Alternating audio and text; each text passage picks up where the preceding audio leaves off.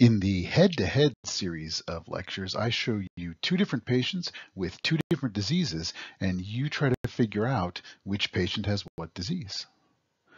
The topic today is Waldeyer's ring. Here's patient one you can see that there is enlargement of the palatine tonsils bilaterally. I'll go ahead and tell you that this is true throughout Waldeyer's ring, not just the palatine tonsils, but also the lingual tonsils and the adenoids. Those are the elements of Waldeyer's ring. So that's patient one. Here's patient number two.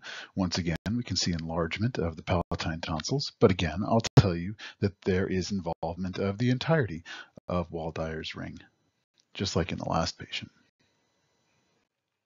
Here they are side by side, patient one and patient two. This would be a good time to pause the video and see if you can figure out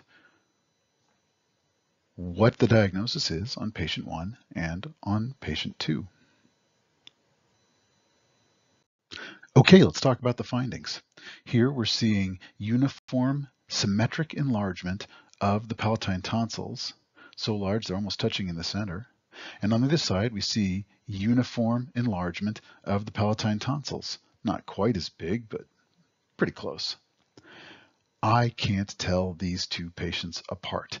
Even as I look at them now, I have trouble remembering which one of them has which diagnosis. So I'll go ahead and reveal it. This patient has lymphoma involving Waldeyer's ring. This patient has an upper respiratory infection that's going to get better all on its own. There is no way to tell these apart. They look identical. This is a problem because when patients get imaged for an upper respiratory infection, we have to concede that there are other less common diagnoses that still need to be considered clinically, including lymphoma and HIV. Unfortunately, patients who get unnecessary images for a presumed upper respiratory infection get drawn into a vortex of further examinations until we can convince ourselves that this is going to go away. Usually the way that I dictate this is to say this most likely represents an upper respiratory infection but should be followed to resolution clinically to ensure that there's no underlying infection such as HIV or neoplasm such as lymphoma. That's the safest way to proceed with these patients because you really can't tell.